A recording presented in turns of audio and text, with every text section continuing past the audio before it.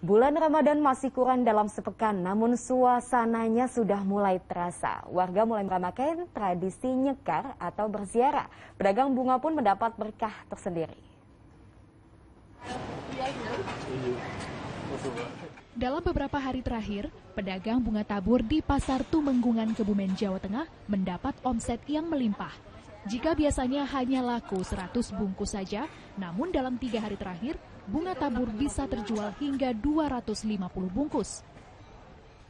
Bunga tabur ini digunakan para peziarah saat nyekar di makam kerabat menjelang bulan suci Ramadan.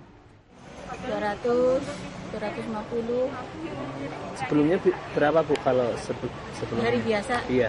100 kalau. Jadi meningkat ya Bu? Hmm, meningkat banget. Sementara itu, memasuki bulan suci Ramadan, makam para ulama penyebar agama Islam di Tanah Mandar ramai didatangi peziarah. Seperti makam Kiai Haji Muhammad Saleh dan makam Kiai Haji Muhammad Tahir. Sejak pagi, ratusan warga silih berganti berdatangan. Tidak hanya warga lokal, peziarah juga berasal dari luar daerah seperti Kabupaten Majene, Mamuju, dan kota lainnya.